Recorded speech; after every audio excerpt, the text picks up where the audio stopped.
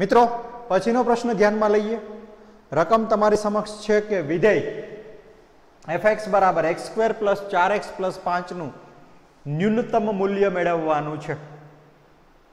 હવે ન્યૂનતમ અને મહત્તમ મૂલ્યમાં પહેલું વિકલન બીજું વિકલન પરથી જ મળે. ઓકે તો પહેલું વિકલન મેળવી લઈએ. તો એફ એક્સ તો આપ્યો છે, એટલે હું સીધું પહેલું વિકલન તમારી સમક્ષ પ્રગટ કરું છું. એફ ડેશ એક્સ થાય. ટુ એક્સ પ્લસ ફોર જે આપ બહુ ઇઝીલી સમજી શકો છો.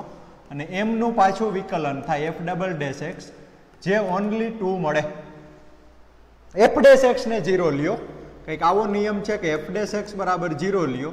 એટલે કે ટુ એક્સ પ્લસ ફોર બરાબર ઝીરો એટલે કે તમને ખબર પડી જાય કે એક્સની કિંમત માઇનસ ચારના છેદમાં બે. એટલે કે એક્સ બરાબર માઇનસ બે છે. જ્યાં મહત્તમ કે ન્યૂનતમ હોઈ શકે ક્લિયર છે? આ નિર્ણાયક કિંમત કહેવાય કે જ્યાં બિંદુ કાં તો ટોચ ઉપર હશે એટલે કે મહત્તમ હશે, કાં ન્યૂનતમ હશે, એટલે કે નીચેની બાજુ હશે. કાં તો ન્યૂનતમ હશે, કાં મહત્તમ હશે. ઓકે આગળ વધીએ.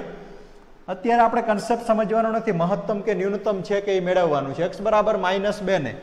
એક્સ બરાબર માઇનસ બે ને. ડબલ વિકલનમાં મૂકો તો એફ ડબલ ડેશ અહીંયા રહ્યો.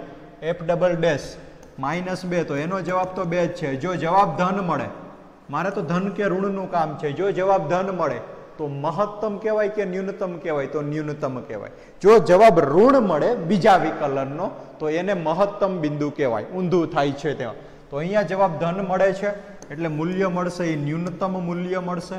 ક્યાં ન્યૂનતમ મૂલ્ય મળશે? તો કે માઇનસ બે આગળ. માઇનસ બે આગળ ન્યૂનતમ મૂલ્ય છે. તો માઇનસ બે આગળ ન્યૂનતમ મૂલ્ય ગણી લ્યો ને મિત્રો. માઇનસ બે નો સ્ક્વેર ચાર પ્લસ ચાર ગુણ્યા માઇનસ બે, માઇનસ આઠ અને પ્લસ પાંચ તો ચાર ને પાંચ નવમાંથી આઠ તમારો જવાબ થાય. નવમાંથી આઠ થોડું મારે કહેવાનું હોય.